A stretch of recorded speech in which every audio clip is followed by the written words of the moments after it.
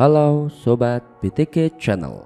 Berikut ini kami masih akan memberikan hasil pertandingan Indonesia Open 2021 Penyelenggaraan badminton di hari kedua Indonesia Open 2021 atau di babak 32 besar yang berlangsung hari ini Di sesi yang kedua yaitu 24 November 2021 Berikut untuk hasil selengkapnya.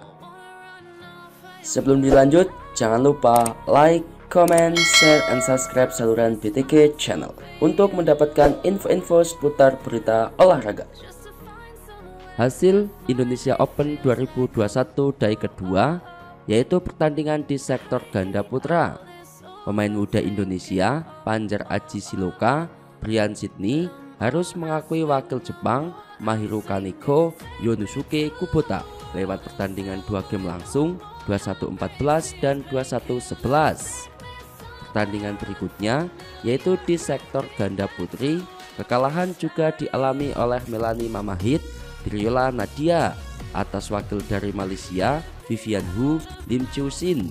Lewat pertandingan 3 game 15-21, 21-8 dan 21-10 pertandingan ketiga untuk wakil Indonesia di sektor tunggal putra Dua wakil Indonesia saling bertemu yaitu Ciko Aura Dwi Wardoyo yang kalahkan Henrico Kowibowo lewat pertandingan dua game langsung 21-11 dan 21-18. Pertandingan keempat yang juga di sektor tunggal putra kemenangan didapatkan oleh Jonathan Christie yang kalahkan wakil dari Malaysia Liu Deren lewat pertandingan dua game langsung 21-14 dan 21-15 pertandingan berikutnya yaitu di sektor ganda putra.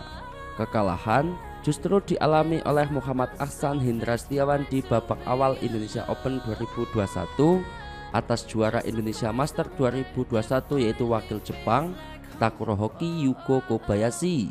Lewat pertandingan 3 game 23-21, 15-21 dan 21-15 pertandingan di sektor ganda campuran untuk wakil Indonesia kemenangan didapat oleh Praventure dan melatih Deva Oktavianti atas wakil Jepang Yuchiro Nishikawa Soiri Ozaki dikarenakan pemain Jepang mengalami cedera atau red red.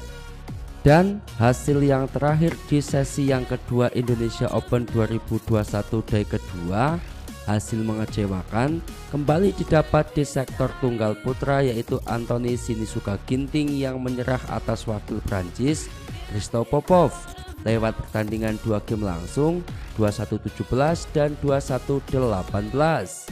Dengan hasil ini, maka baru lima wakil Indonesia yang lolos ke babak 16 besar di hari kedua.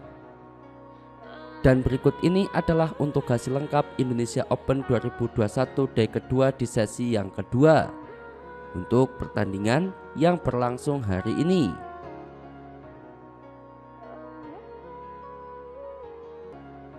Oke teman-teman, itulah untuk hasil Indonesia Open 2021 day kedua yang berlangsung hari ini di sesi yang kedua. Sekali lagi terima kasih sudah menonton video dari kami. Dan sekali lagi kami mohon bantuannya di like videonya, di komen video ini dan juga yang belum subscribe silahkan di subscribe saluran BTK channel Matur Nuwun.